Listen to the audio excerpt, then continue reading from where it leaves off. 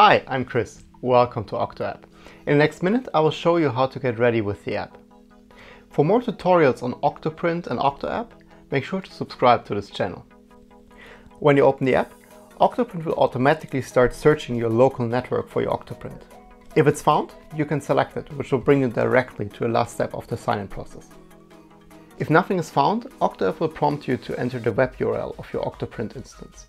You can directly copy this from your browser. After you continue, OctoApp will start testing your connection with Octoprint. In case there are any issues, you will get very detailed error messages as well as tips and tricks on how to solve them. If you're stuck here with some issue, the Octoprint forums and Octoprint Discord are a great place to get help. Links in the description below. If everything works well, OctoApp will request access to your Octoprint.